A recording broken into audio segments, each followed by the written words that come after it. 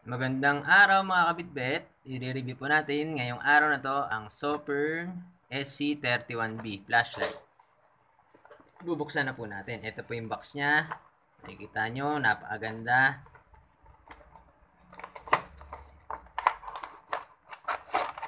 Ito po. Sa box niya, may kasamang spare na magnetic tail cap. Meron siyang USB charging port. Spare na 2 rubberized O-ring. Meron din siyang card. Join Facebook Soper. Ito po yung kanyang manual. Yan. Malaki po siya. So, hindi ko na masyado nga ano sa inyo. Pero kung makikita nyo po, Ayan po yung modes niya. Pa-post na lang kung gusto niyo ulit makita. Pupunta na po tayo sa flashlight mismo. Ito po yung flashlight. Napakaganda. So, ganito po siya kalaki sa kamay. Ayos po.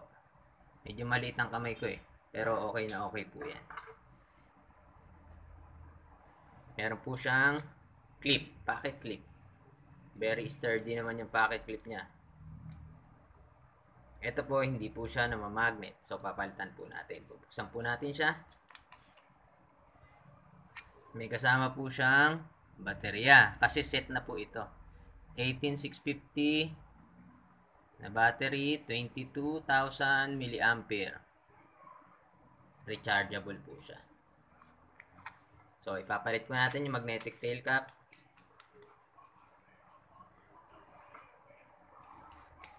Ayan po. Magnet po. Malakas po. Oh.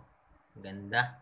Pwede nyo idikit sa hood ng kotse nyo o sa toolbox nyo pag may ginagawa kayo sa gabi. Ito po yung USB port niya.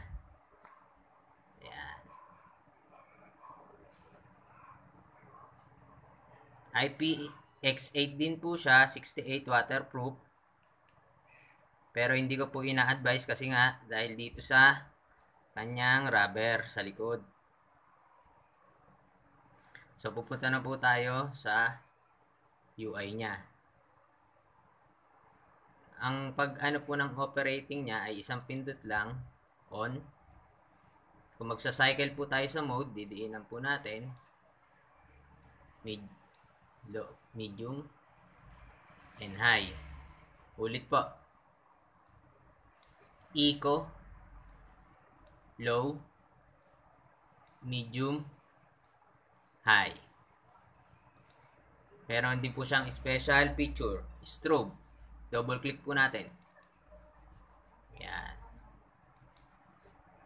May memory rin po siya. So, kung isang po natin siya iniwan, Halimbawa sa medium, low, medium, eco, low, medium, yan, medium. Pag pinatay po natin, sa medium po siya ulit. Meron din po siyang battery indicator. Pag bubuksan po natin, makikita nyo may blue. Pag nag-flash po na maraming blue yan, pa-flashing, palobat na po. Ito po, meron din siyang breathing mode. Didiinan lang po natin na matagal. Gaganyan lang po siya. Constant po yung ganyan niya.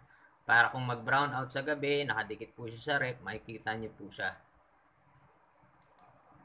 Ah, ganda rin po nito. Hindi po pwedeng baliktarin yung clip. Pero yung mismong battery tube niya, yung barrel niya, ay pwede po nating baliktarin. Kasi parehas po sila ng thread. Parehas po sila ng thread. Sure nyo lang na binaliktad nyo rin yung battery pag nilagay ninyo. So, pag ganyan po, pwede nyo na siyang gamitin at i-clip as headlamp. Ayan. Headlamp. Pwede siya sa headlamp. So, napakarami niyang pwedeng kamitan. Nakalagay po sa rim ng hat nyo, pwedeng pwede. So, pupunta po tayo sa kanyang beam. Ayan, makikita nyo po yung beam niya. Ito po yung eco. Ayan, pabilog. Hanggang dito po. So, parang mas thrower po siya. Ang eco po ay 10 lumen, 880 hours tatagal. Ang low, 150 lumen, 8 hours po tatagal. Ang medium, 400 lumen, 2 and a half hours po siya tatagal.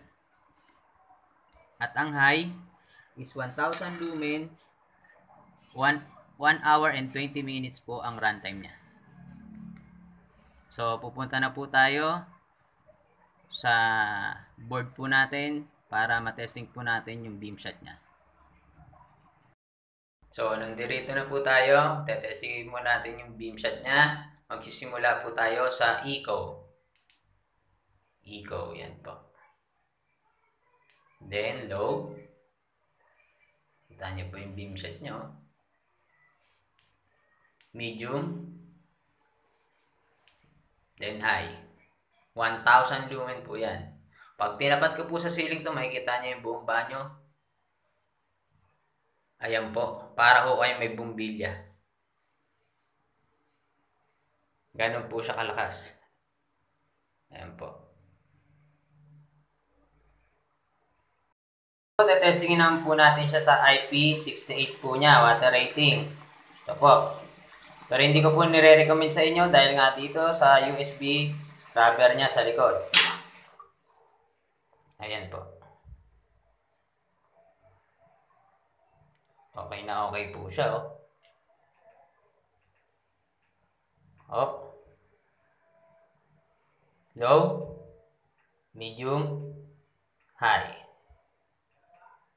Up. Stroke po. So, pwede po siyang mag-splash, mag-swimming sa tubig. So, ayan po. Papaita po natin sa inyo ngayon kung paano po siya nag-charge. Ito po, tatanggalin po natin.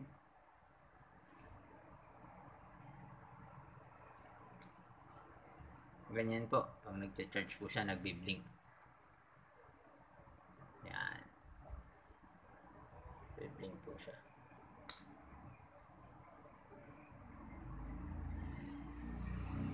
Napaka basic lang po ng operation niya, napakadali.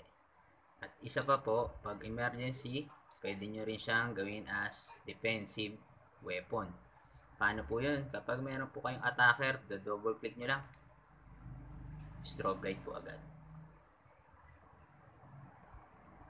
Pwede nyo po siyang dalhin araw-araw as EDC. Pa-subscribe na lang po. Maraming salamat po. Ingat po lagi kayo mga kabitbit. Mabuhay po.